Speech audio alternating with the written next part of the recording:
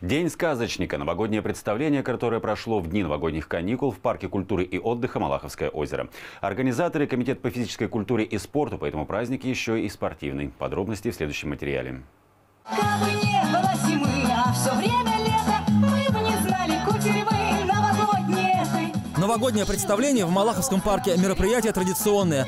На берегу Дед Мороз, Снегурочка и другие сказочные персонажи. В воде – члены Малаховского клуба закаливания и зимнего плавания «Джентльмены удачи». Название нашего клуба при- пришло быстро. А, То есть на наш клуб называется «Джентльмены удачи». Э, Мы все знаем советскую комедию «Джентльмены удачи». Как раз по сценарию фильма Шлем Македонского был спрятан на этом, на этом озере, на Малаховском озере. Клубу закаливания 8 лет. Сейчас в его рядах 20 человек.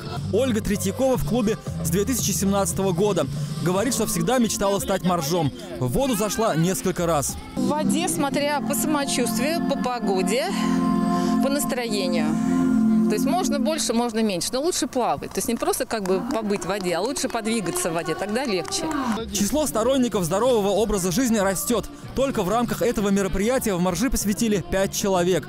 Новичок окунается, затем следует водружение на голову шлема Александра Македонского из старой пожарной каски. Идея нашего клуба это популяризация здорового образа жизни. Мы на личном опыте показываем, что можно проводить время свободное, использовать для здоровья и без дополнительных допингов. Поэтому вот это как бы наша миссия. Вот мы своим примером показываем, как можно отдыхать трезво, Из проруби в мобильную баню-палатку с печкой отогреваться. Ее предоставил Комитет по физической культуре и спорту, который участвует в организации всех зимних мероприятий для моржей. Мы им э, помогаем. Ну вот а в этот раз организовали им теплую палатку, баню, вот э, горячий чай э, на таежных травах. Это все, что касается здорового жизни. Тем временем юные воспитанники Люберецкой школы Олимпийского резерва преодолели сказочную лыжню, которую проложили в Малаховском парке. Подарки получили все участники забега. Алексей Абрамов, Петр Пономаренко, телеканал ЛРТ.